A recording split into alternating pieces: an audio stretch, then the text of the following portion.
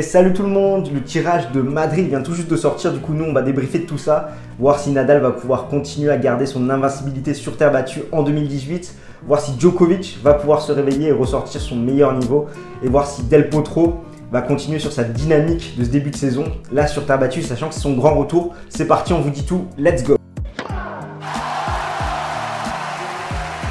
Il faut savoir que l'an dernier, la finale opposait Dominique Thiem à Rafael Nadal et l'Espagnol s'était imposé 7-6, 6-4.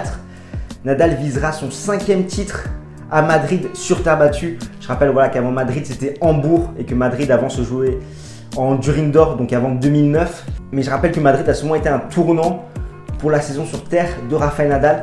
En 2014 par exemple, il s'impose en finale contre Kei Nishikori alors qu'il était dominé. C'est le, japonais qui se blesse, qui doit abandonner. Et derrière, bah, ça lance sa saison sur terre en 2014. En 2015, il fait un bon tournoi, mais en finale, il se fait détruire en 2-7 par Andy Murray. En 2016, c'est au tournoi de Madrid qu'il va commencer à contracter sa blessure au poignet, qu'il aura eu des matchs assez difficiles, notamment contre Sam Querrey et contre Joao Souza en 3-7. Également cette demi-finale contre Andy Murray où il s'incline en 2-7. Et en 2017, Roblotte, c'est exactement un petit peu la même chose, sachant qu'il a un premier tour très compliqué contre Fabio Fonini, où il fait vraiment un très mauvais match, qui va, il va s'imposer en 3-7. Et également, bon, il va faire un très bon match en demi-finale contre Novak Djokovic. Mais c'est également là où il va faire son premier match vraiment accroché contre Dominic Thiem sur terre battue. Il y a plusieurs facteurs qui peuvent expliquer tout ça. Monte Carlo et Barcelone, c'est vraiment la reprise sur terre battue, donc les, les joueurs n'ont pas encore leur repère. Et à partir de Madrid, ils commencent vraiment à avoir leur marque sur la surface.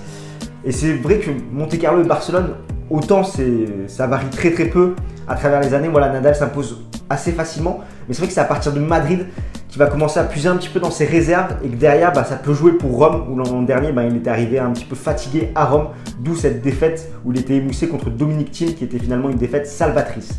Bref, nous on va parler du tableau de Madrid, en vous détaillant un petit peu les parcours potentiels des principaux joueurs donc déjà Rafael Nadal qui est le grand favori comme je le disais, qui pourrait jouer au premier tour Gaël Monfils. Ensuite en huitième de finale Diego Schwartzmann. En quart Dominique Thiem. En demi-finale potentiellement Juan Martin Del Potro. Et en finale Zverev ou Dimitrov. Donc c'est vrai que sur le papier il a quand même des adversaires assez costauds avec des très bons joueurs de terre battue. Et si on creuse un petit peu, ben, c'est vrai que mon fils n'est pas dans la forme de sa vie en ce moment. Schwartzmann, pareil.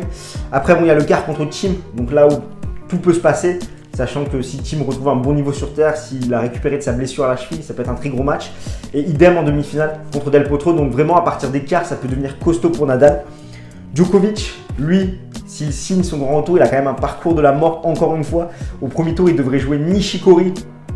Donc vraiment un gros gros match, même si Nishikori était blessé suite à son tournoi de Monaco. Il avait dû abandonner au premier tour de Barcelone, à voir s'il aura récupéré d'ici là. Au second tour, il pourrait jouer Kyle Edmund. Ensuite, David Goffin, Dimitrov, Zverev et enfin Nadal en finale. Donc vraiment un parcours du combattant pour le Serbe. Mais bon, s'il arrive à, se hisser assez loin dans, ce tournoi, ben, ça pourra montrer que de nouveau, il engrange de la confiance il retrouve petit à petit son niveau. Del Potro, qui est un outsider très sérieux, surtout au vu de son début de saison, lui, il jouerait Beneteau au premier tour. Donc euh, voilà, pas forcément un match facile français voilà, joue comme euh, il joue depuis le début de saison où il n'a plus rien à perdre depuis qu'il a annoncé sa retraite.